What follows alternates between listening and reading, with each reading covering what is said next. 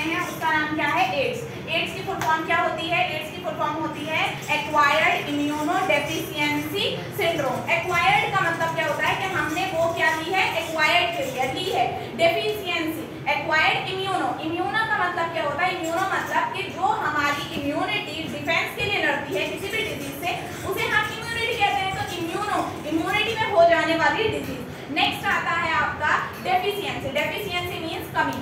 और फिर आपका क्या acquired immunodeficiency syndrome syndrome word किस लिए यूज़ किया जाता है? सिंड्रोम वर्ड यूज़ किया जाता है कि एक से ज़्यादा डिज़ीज़ हो जाना।